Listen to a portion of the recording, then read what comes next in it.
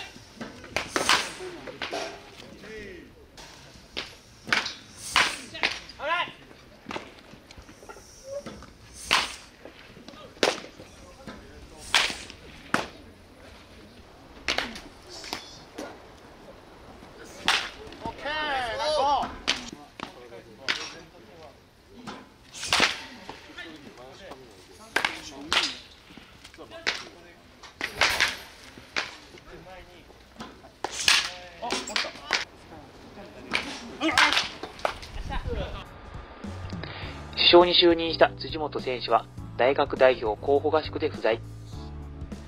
エース格の川田投手は別メニューでプレーを見ることができませんでしたが、それでも逸材が多い仙台大。全国各地から実力者が揃い、日々しのぎを削り合っていますが、そんな選手たちの心の支えとなっているものは何なのか。ここからは番外編として、ジャクソン投手、川和田投手、渡辺投手、樫本投手の4名にご協力いただき、高校時代の思い出の品を持ってきていただきました。知らないんですけど。これは自分高校時代高校までオーストラリアだったんですけどあの高校時代のあの全国3連覇したんですけどあの高校の全国で。オーストラリアの全国、まあ、オーストラリアの甲子園みたいな感じで。したそこで、まあ、3連覇ですることができて、まあ、すごい貴重な経験ですし結構大切にしてるユニフォームなんでその時の背番号1だったんですけど。ってことはエースナンバーっていう。エースみたいな感じですね、はい、もう初めてもうオーストラリア史上初めてって言われたので。結構結構まあ本当に嬉しかったですね。その3回目特に嬉しかったですね。でもやっぱ自信になりますねこれは。本当になんかなんて言うんでしょう勝つ勝つことなんか嬉しい勝つのはやっぱ嬉しいことなんで本当にこれを見るだけでなんか勝ちを思い出せるからこれがなんかまあモチベーションになりますねこれははい。まあ、一ファンとして一同級生として、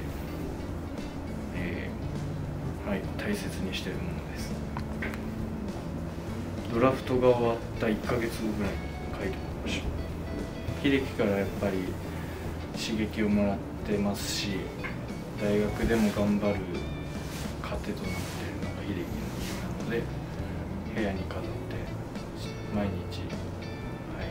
刺激をもらってます。これは夏の大会が終わった後すぐに球場の外で、えー、中学校の恩師と撮った写真です。やっぱり野球今野球人生で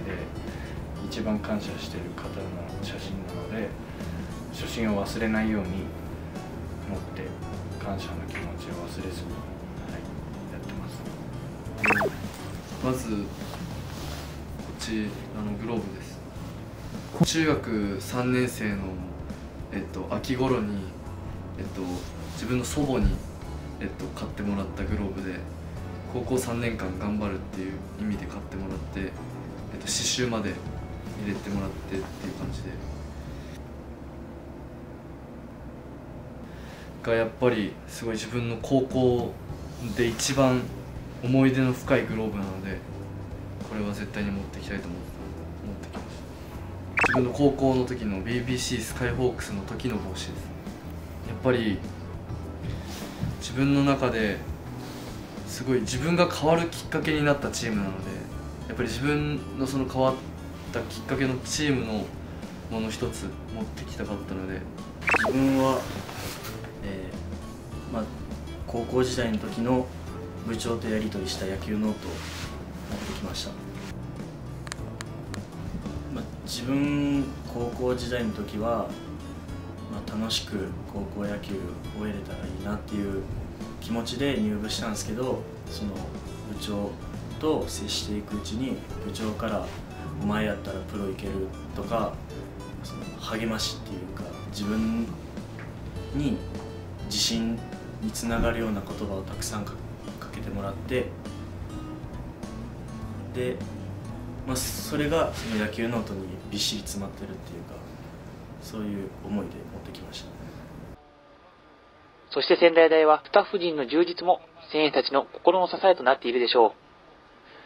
森本監督を中心に元プロ野球選手の坪井コーチ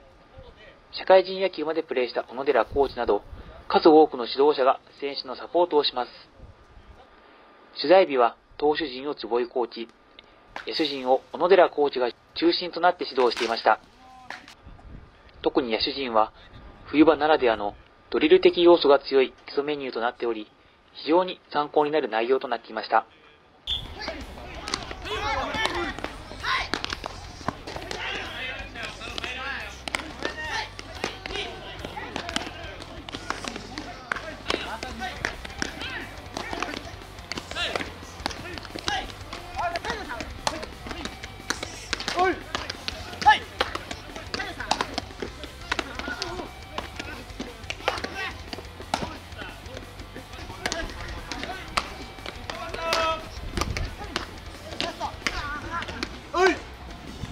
美味しそう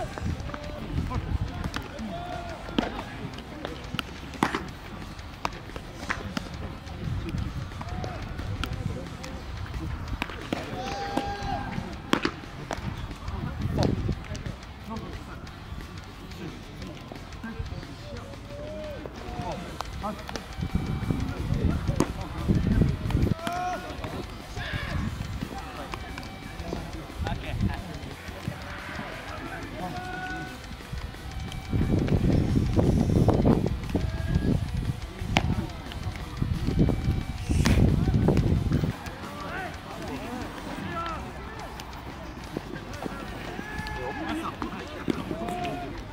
はい。そうそうそう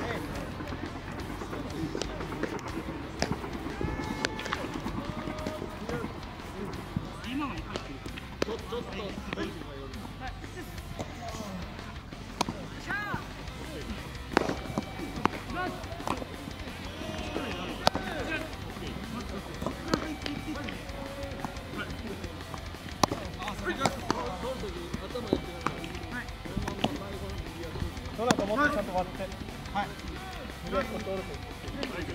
はい。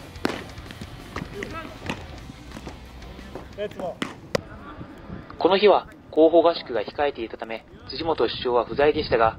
このドリルは辻元首相も取り組んでい。るものであり、ドラフト候補の土台を作り上げたと言っても過言ではありません。ぜひ取り入れてみてはい。かがでしょうか。スタッフ陣が充実してい。る仙台大ですが、部員数は4学年揃うと200人近くにもなるそうです。恐ろしい規模になっているため、チーム内は5つのチームに分割。練習も朝と夕方の2部制に分けます。全員が必ずどちらかに参加して、日々競争しながら鍛錬を積み重ねます。昇格のチャンスはもちろん、降格の危機が日々あるからこそ、練習の質は高まっているようです。自分の中で思ったよりすごくレベルが高くて、えっと、自分の周りで、えっと、球が速いとかがあまりそんなすごいっていう人があまりいなかったのでこっちに来てみんな周りで自分より速い球投げる人がいたりとか、えー、4年生がすごい抑えていたりとかすごい実力の差感じて練習しなきゃまずいなっていうすごい競争っていう意味ではすごい自分の中では練習するきっかけになったというそういう感じです。まあ、人数多い方が競争率競争も高いし競争率も高いしなんで、まあ、うわ不安やなっていうよりかは楽しみだなっていう気持ちの方が大きかったです